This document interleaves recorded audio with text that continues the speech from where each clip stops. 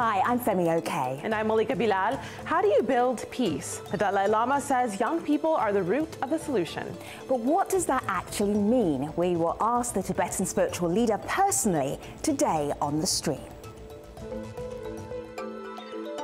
My name is Patrik Hermansson. I'm a researcher at Hope Not Hate, and I'm in the stream. The United Nations estimates that 600 million young people, that's half of the world's youth population, live in areas affected by conflict. But despite the challenges of growing up in turmoil, many young people are striving to make a difference. In fact, a group of young peace builders from around the world have converged on the Dalai Lama's compound in India to learn from each other and the spiritual leader himself. The event, organized by the United States Institute of Peace, seeks to give them the practical skills and the personal resilience needed to work in their home countries. So, how do you build peace in times of conflict? Joining us to talk about this, we have the Dalai Lama and two youth leaders participating in the US Institute of Peace event, Aloel Manyok from South Sudan and Paola Porras from Colombia. Welcome, everybody. Dalai Lama, it is such a pleasure to have you on the stream. I have been looking at a picture of you as a very young boy. You were about four years old in a monastery in eastern Tibet. As a child, as a youngster, what was the most valuable lesson you learned about building peace? I was a very, very lazy student. now, gradually, I realize these things which I study is really immense help to keep my mind fresh sharp because uh, we study uh, how to analyze things. You see, at the beginning, we should keep more skeptical, skepticism, not just believe easily, then analyze, analyze. Paula and Aloel, I was just looking at your group from a picture that you took a day ago. And there you are, surrounded by the Dalai Lama, and everybody is smiling, and he is mentoring you. What is he like as a mentor? Um, oh, what is it like as a mentor? Um, it was quite an experience for me yesterday. I felt like I wasn't only uh, spiritually empowered, but there's, there's just something about the energy in this room that really, really gave me the peace of mind that I needed. And when I asked uh, my question, at least I had the chance to ask His Holiness my question yesterday, and he really answered me in details. And I've just I've just been going through that response in my head, and I feel like all the solutions I needed are in that package he gave me yesterday, and it's just up to me to bring it or to decide the stages I need to unlock the, the, the, answer he gave me yesterday. So it was really a good start for me personally uh, yesterday. And I'm looking forward to today's conversation. I think it's even going to be more than what we had yesterday. Yeah, and uh, for me, uh, first of all, he's really funny, so it makes it like really easy. And um, he, uh, when you talk about the Dalai Lama, he is just um, like he, uh, you, you visualize him like here, and when you talk actually with him, you see him as a person. He makes it so easy and so practical. Like uh, it's not um, when he speaks, it's not like you think that peace is not achievable. That you can actually do it, and all of the things, even if he, he speaks also like from all uh, religions, ethnicities, ways of thinking, not only for their belief, uh, his belief. So I think that's an amazing thing for um, for having him as a mentor. so we got this comment here uh, from Bree on Twitter, and she wants to know what the U.S. can learn from youth peace leaders and peacemakers around the globe, especially as our country, she says, speaking of the U.S., becomes more divided and mass violence increases. She's directing this to the Dalai Lama. What do you make of what the U.S. and young leaders here can learn from those who are in that room with you and from your own background? As far so my impression is uh, sometimes leaders, see, they uh, consider uh, they live a different level of sort of world. The real, I think, representative of human being, I think these innocent people, and particularly people who come from really difficult area. So they really believe peace, uh, harmony is very important. So therefore, I think, I hope the leaders, including spiritual leaders, I think uh, worthwhile to listen more from these young people whose life really passing through difficult sort of uh, say experience. So that's my feeling.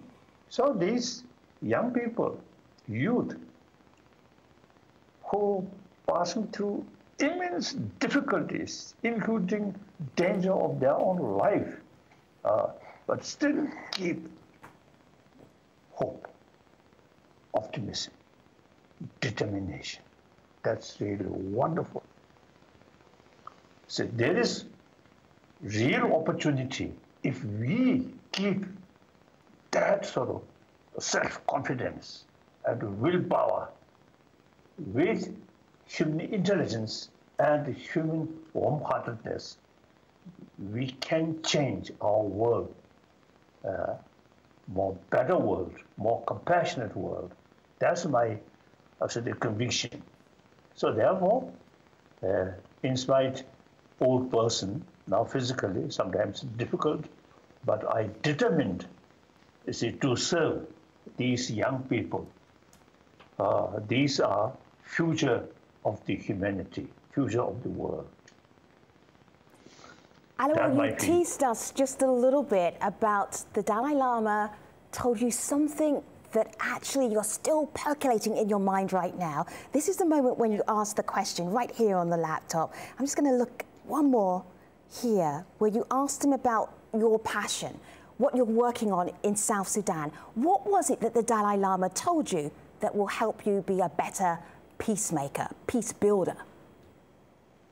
Uh, my question was on education and women empowerment, and his response was we, I might, we might not see the impact of what we're doing now, but if we invest in education and patience, all these obstacles will be eradicated with time. So me, when he gave me that package of invest in education and women must take lead in peace building and then patience, it just completely made sense because you cannot educate someone today and they graduate tomorrow and they're able to give back, uh, back to the community. It's a process. And I just felt like maybe this is an initial start and it's a long-term impact, but it's going to be for a better good tomorrow. Mm.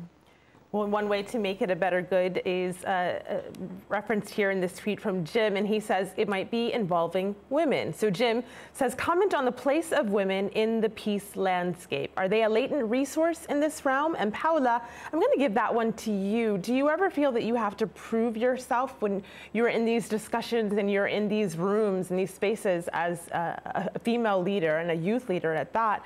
Do you feel that you have to go a little bit step a step further than other people have to?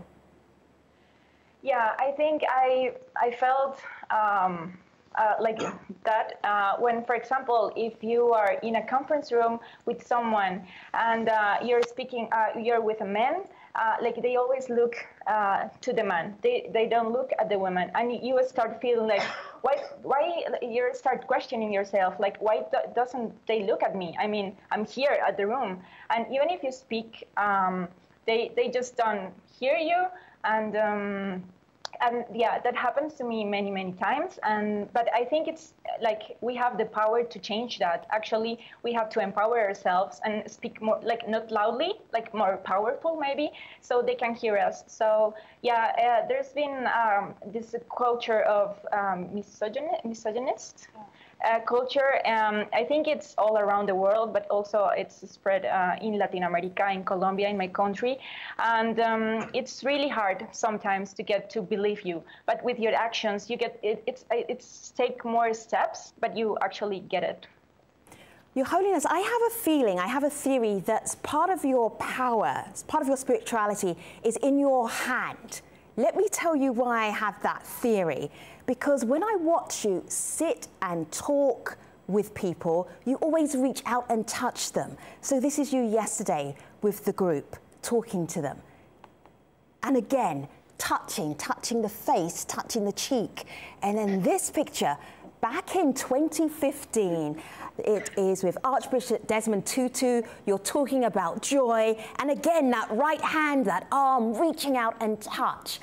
Why is that so important to what you do, how you connect with people?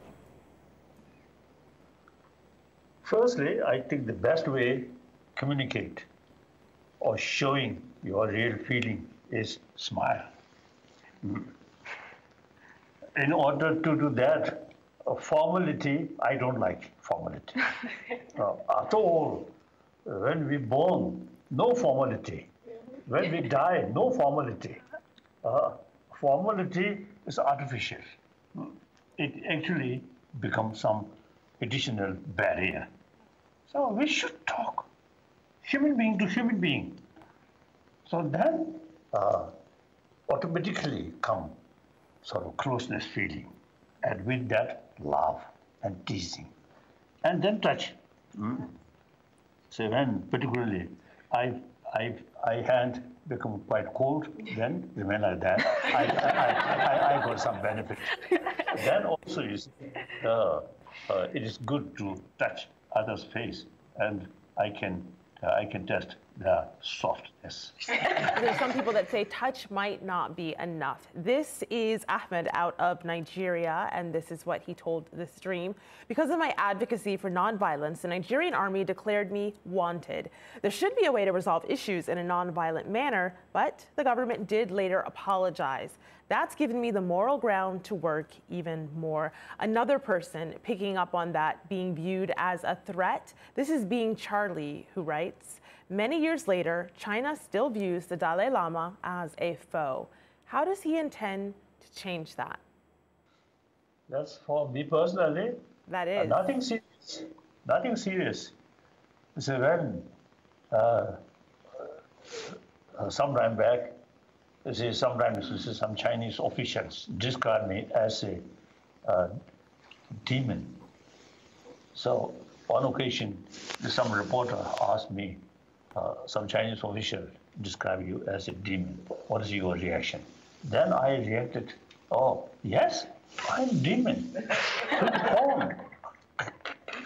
then sometimes I jokingly telling, my horn seems longer, longer, longer. so these are, uh, we respect Chinese people historic, historical people, cultured people, hardworking. Now today, uh, as a matter of fact, most populated nation. And over 2,000 years, China, Tibet, very close link uh, through marriage like that.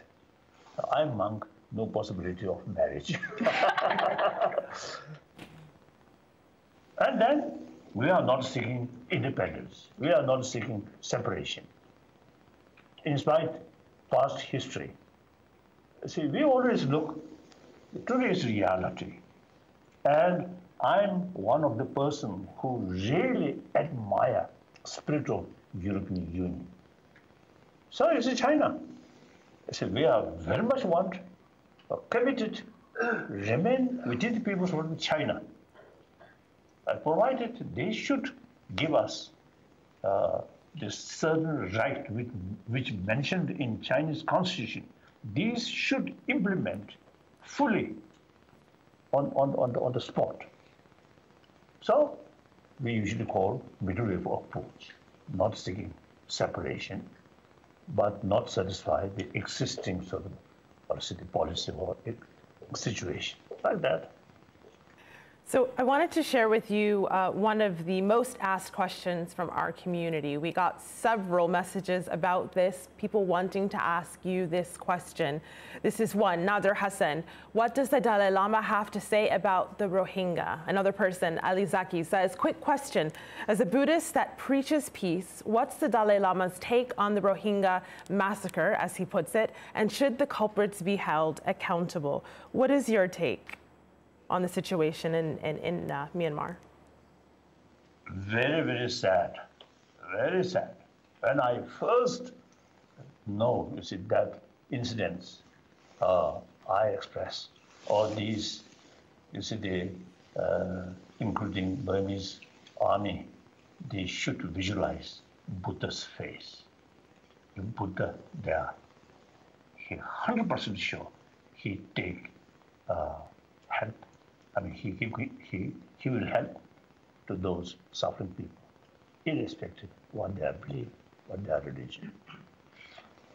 But then, see, at that time, uh, uh, Times magazine, you see, or cover one Buddhist monk and described as a Buddhist terrorist. I felt it is totally wrong. And then also, now these uh, years, I publicly was telling the wording Muslim terrorist, it's wrong. Some my friend, Muslim friend, practitioner of Islam, they told me a person who claimed themselves as a follower of Islam, if create bloodshed, no longer genuine practice, genuine follower of Islam. So the genuine Islam practitioner should extend love towards entire uh, creature of Allah. Wonderful. So therefore, the wording Buddhist terrorist and Muslim terrorist seems to say Muslim as well as terrorist as well as Buddhism terrorist is totally wrong. Yeah. As soon as committed some sort of uh, violence or terrorist work, no longer Islam or Muslim or Buddhist. So that's, I think, very important. We too much, sometimes we too much generalize, not precise. So European Union, I think two, two years ago, maybe two years ago, I have been European Union. I also mentioned that this wording that totally wrong. Your Holiness, you met Aung San Suu Kyi, who is a fellow Nobel laureate, in 2013. This picture is with you, with her in Prague, in the Czech Republic. You're very close, you look very close here. What would you advise her about bringing peace with her Rohingya community in Myanmar? How would you use I your skills? uh, at that meeting, I mentioned to her uh, as a Nobel laureate sister, should speak, should do something. And then she told me, very complicated situation. So I think the World Organization, including United Nations, now speaking on behalf of these people, suffering people, it is really encouraging. And many uh, human, the, the human rights organization, and then also I really uh, admire and appreciate many organizations really helping people who facing starvation. Wonderful, really wonderful. So the, when I saw these things, how I really feel. Oh, still in this complicated world, still uh, compassion carries some work. So these are the, I consider seed. One seed you properly care, then can grow. Like that. So these really are human created problem no one else we can blame. all problem we created. So logically, we human being have the ability to reduce or to eliminate these problems which essentially human being created. And logically also, we have the moral responsibility to reduce these man-made problems, like that. Paola, you use social media as a platform to help teach young people, to give them tools to stop conflict in their neighborhood, particularly in Colombia and also in Latin America. There's a picture here of you with youngsters who are reclaiming what was a violent public space. The Dalai Lama has been saying how much he gets from young people. What are you teaching His Holiness over the next couple of days? What can you teach him? What can I teach him? Absolutely, yes. okay, that's a tough one. so, no, I'm actually, I, I mean, like young people, um, we all here have the power of technology. That's why I use technology. I think we are, uh, uh, like, everybody's saying that young people have like many um, like the power have the power to change things but it's not because we are more smart or we have other abilities. It's just because i think we have technology. And with technology and with social media also we can spread the word more easily to the world. Um, so i think um, I think uh, that's why I use also uh, like a virtual platform because uh, I used to just uh, with Somos Capaces, my like my organization, we uh, were able just to be in Bogota, and now with this uh, using of technology, we are being able to be in 46 countries of our city. Seven of them uh, they are prioritized by the post-conflict.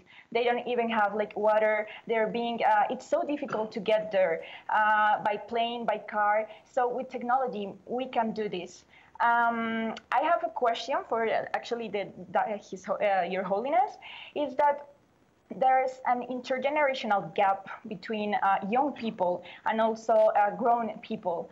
Um, there's been like young people are taking action, and so many times, even if it's true, uh, we complain about how we are being um, like uh, grown people don't listen to us.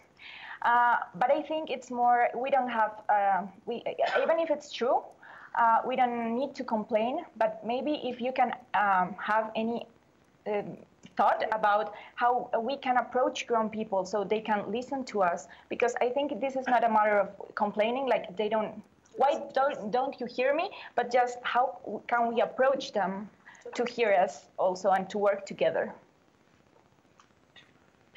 Certainly, sometimes you see uh, people, including Tibetan, sometimes you see older people looks younger people, they innocent, not yeah. much experience.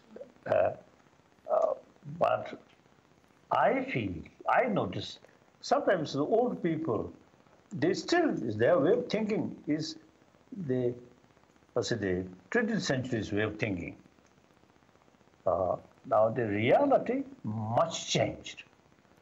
So now we have to act according new reality.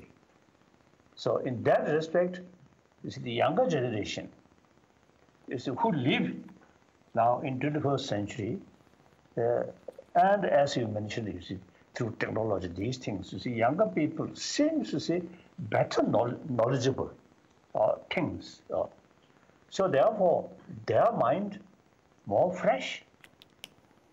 Sometimes, I think due to lack of experience, sometimes more sort of what's the, uh, what's the impatience. uh, otherwise, I think young people now they are their thinking is more realistic. So older people should listen more. And certainly, you see, elder people have more experience share the young people. But the new ideas, I think, usually come from younger generation. I feel like that. I can't think of a better place to end. Thank you so much, Your Holiness Dalai Lama, Aliwal Manyok, Paola Porras, the United States Institute of Peace. Thank you all for being part of this program today. We will see you online. Take care, everybody.